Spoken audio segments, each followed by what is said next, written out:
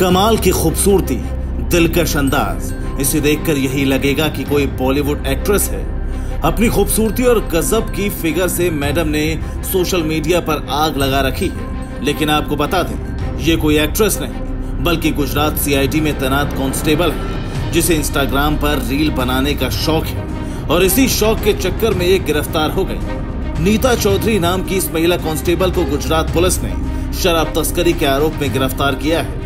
दरअसल डीआईजी के आदेश पर पुलिस चेकिंग कर रही थी। इसी दौरान शराब तस्कर युवराज सिंह के साथ नीता चौधरी को पकड़ा गया। आरोप है कि नीता चौधरी ने शराब पी रखी थी।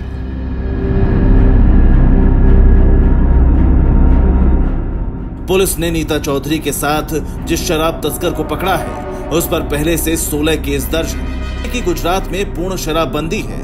बावजूद इसके पुलिस वालों के मिले भगत से तस्करी हो रही है। हालाँकि नीता चौधरी का विवादों से पुराना नाता है, जिसकी वजह से नीता चौधरी सस्पेंड भी हो चुकी है। वैसे अपने फिगर, लुक और दिलकश अदाओं की वजह से नीता चौधरी सोशल मीडिया पर छाई रहती है। लेकिन अब गिरफ्तारी के बाद तो कुछ दिन इसे जेल में ही काटने होंगे।